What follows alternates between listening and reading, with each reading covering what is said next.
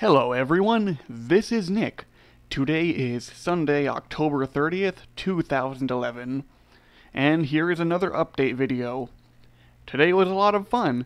I went out shopping, and whilst out, I purchased a fake bloody arm Halloween decoration thing. And I used it to frighten my little brother, a la a scene from Jurassic Park. Oh, Mr. Arnold.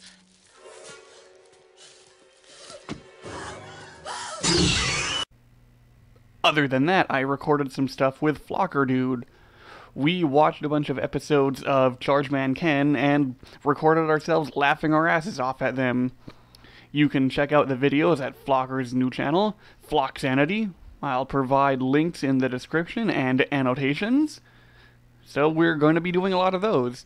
I hope you enjoy it. We're having a lot of fun doing it. So please check out his other channel and watch those. That's really all I have to say for right now. I can't think of anything else. So I'm going to leave it off here and I'll see you soon. I imagine I'll be doing another update video. I hope in not th- before three weeks from now, you know. Alright, bye everyone.